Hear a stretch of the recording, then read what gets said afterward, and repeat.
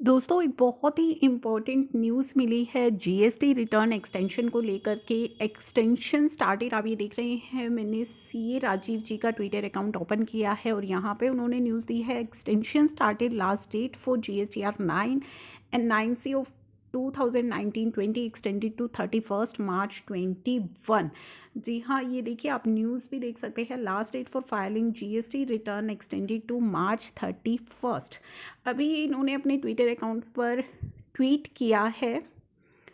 आप देख सकते हैं, अभी सीबीआईसी की तरफ़ से कोई फॉर्मल अनाउंसमेंट नहीं हुई है। जस्ट ट्वीट आया है इफ़ इट इज़ कन्फर्म्ड तो लास्ट डेट एक्सटेंड की जा रही है March thirty first March twenty twenty one तक।